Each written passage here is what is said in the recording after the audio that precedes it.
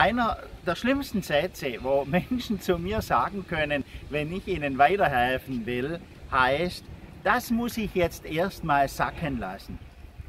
Die Menschen bekommen Lösungen.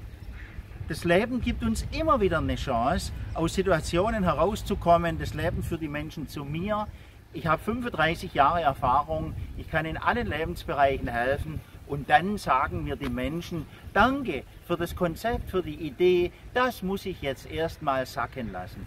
Und ich möchte heute mal anregen, mal zu prüfen, wie oft sind wir im Leben zögerlich unterwegs, machen einfach weiter in der alten Grauzone, lassen die Dinge ins Verfalldatum laufen, dass sie so überreif sind und schon übers Verfalldatum drüber sind und machen einfach nichts.